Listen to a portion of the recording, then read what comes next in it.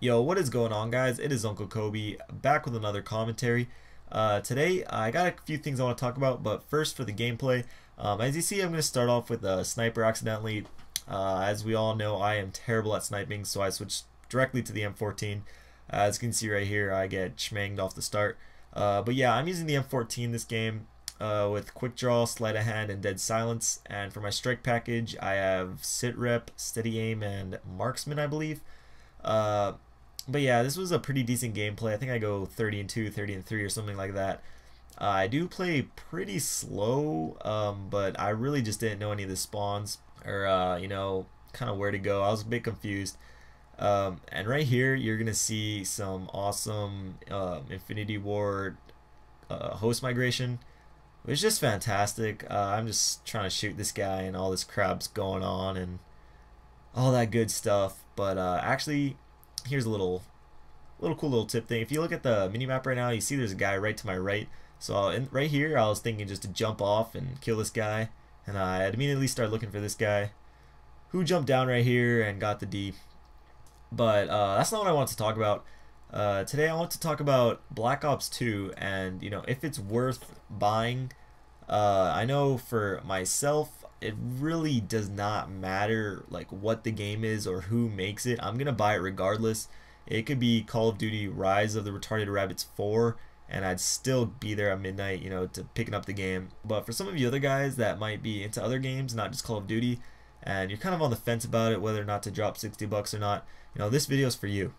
Now, I think it's safe to say that the last few Call of Duties uh, seem to be basically the same game as the year before, but with some new skins and like guns and sound effects and stuff like that. So what exactly will be new with Black Ops 2? Well, let's start off with the actual game engine.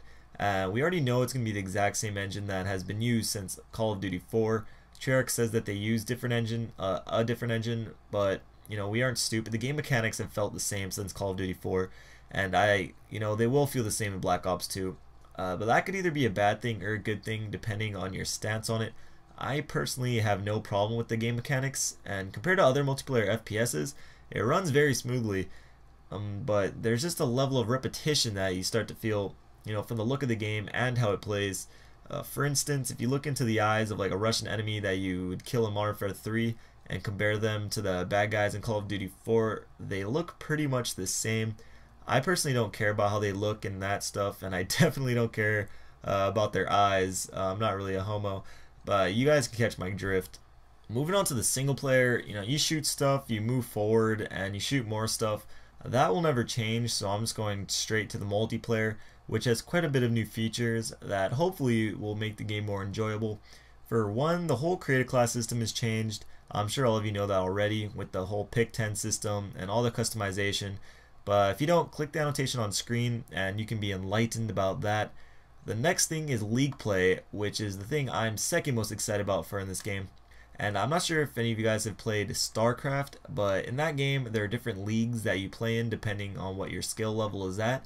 And they're bringing that idea into Call of Duty, which I think is just great. You know, having a real ranked playlist is something that I've been waiting for for quite a while and I think it'll actually add a new dynamic to YouTube because if you post like league play playlist gameplays and you're ranked really high, it just adds to the awesomeness of the gameplay knowing that you're playing against good players. And uh, I'm definitely gonna post a lot of league playlist gameplays. Maybe do kind of a road to a loss, road to loss sort of deal like what Wings does. Uh, but yeah, ranked playlist is definitely a plus. Another thing is the new score streaks and how you're going to be rewarded for you know team-based play rather than kills. That's all preference. If you're one of the guys that just enjoy going into ground war games and just getting fat kill streaks, you know this probably doesn't really interest you. But for me, I like playing for the win and playing objective game modes. So this kind of helps me, you know, somewhat. It's not that big of a deal to me, but you know, it's new, so I thought I'd mention it. But on to the last thing, which is what I'm most excited for, and I'm sure you are all too, and that's zombies. Uh, from the trailer, zombies look totally badass, and they're introducing specific game modes just for zombies that will be played on the multiplayer engine, allowing 4-on-4 battles to be taking place, which will be just insane.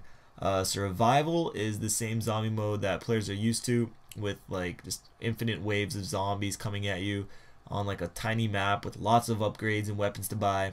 and uh, you rebuild the barriers and barricades to try to improve your lifespan and gain points and stuff like that. Grief is a play on the standard team deathmatch that actually sounds pretty interesting. So two teams of up to four players uh, each populate one map and they're trying to kill each other. However, those teams can actually hurt each other. The only things that can hurt them are the zombies, meaning that the objective of each team is to put the other team in kind of unsurvivable situations while ensuring that the zombies don't eat your brains out in the process. So maps will, um, you know, will provide plenty of opportunities to screw with the other team, like blocking passages and doorways, and just imagine kids raging at you when you trap them in a hallway with like 10 zombies. God, it'll be hilarious. And there's also speculation about a zombie campaign slash story mode kind of deal that you ride around in the bus, stopping at various locations, um, which are like the levels. Uh, but whatever, zombies look freaking awesome, and it's uh, definitely up there as one of the main reasons why you should get Black Ops 2. But like I said before, no matter how new the game is, it still will be a Call of Duty and have that Call of Duty feel. It's just like Apple and their iPhones really, like every year they put out a different one that usually don't feel that different. You know, first from the 4 to the 4S, and then from the 4S to a little longer 4S. Uh, but just like the phone and a couple other things, every inch counts.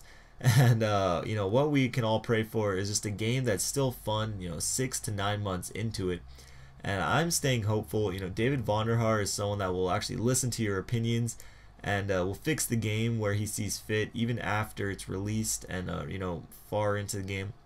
Uh, so, do I recommend buying it? Yeah, I actually do. I haven't been this excited for a game since like Modern Warfare 2, uh, which was actually kind of a letdown for me. Uh, but for like Modern Warfare 3, I wasn't even thinking about it at this time last year. But for Black Ops 2, you know, I get more and more excited for it with every video I make and uh, every video I see about it. Uh, and I like to think that they will add enough, you know, new stuff to make it seem different and make it more enjoyable. But even if it still feels like every other COD and it's just really well put together, you know, without all that BS, I think it's going to be a great game. So there it is guys, I'm stoked for Black Ops 2. I hope you all enjoyed the video. If you did, please take the time to hit that like button. It only takes a second and it really does mean a lot to me. For two videos you may have missed, on the left is a Black Ops 2 video where I talk about all the LMGs in the game, and on the right is the question of the week. Uh, even if you already answered, go back and leave another one. I'm going to pick this week's winner on Friday night, so take advantage of the opportunity. But anyways, leave in the comments below what Black Ops 2 weapon class you want me to do next. I still have the snipers, launchers, and pistols. So if you have a preference, leave it down below. This was Uncle Kobe. I love you all. Peace.